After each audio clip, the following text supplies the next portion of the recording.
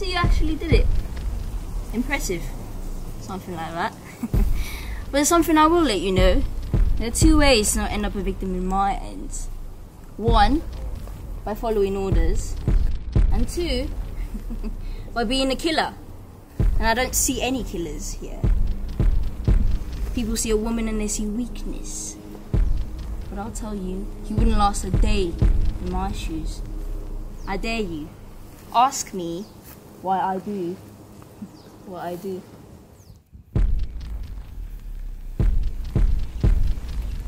We did what you wanted. We brought our bosses. Now what? Who the fuck gave you permission to speak?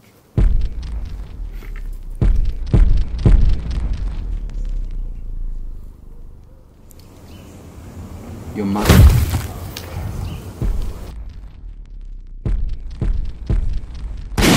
Shit. We dying today.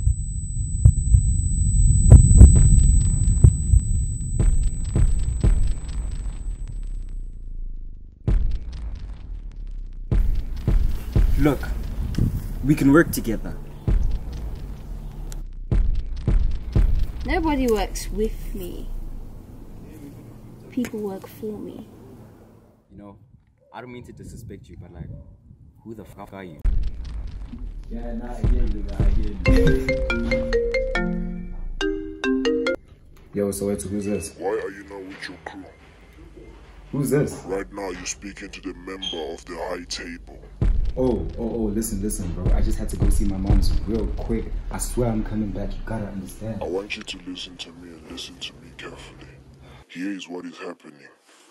This whole thing that your boys are going through is on the set up. Everyone is being set up. And they've all failed the mission right now.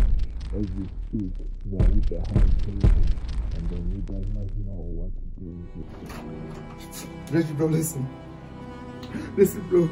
That whole unknown corner situation is a setup, dog. Like it's a setup. They tested you, bro. Don't give them and Tommy. You niggas gotta get out of there, bro. You just gotta get out of there, dog. It's not safe, bro. I just spoke to a guy from the high table, bro. This is a test. Dog, get out of there, kids. Come here as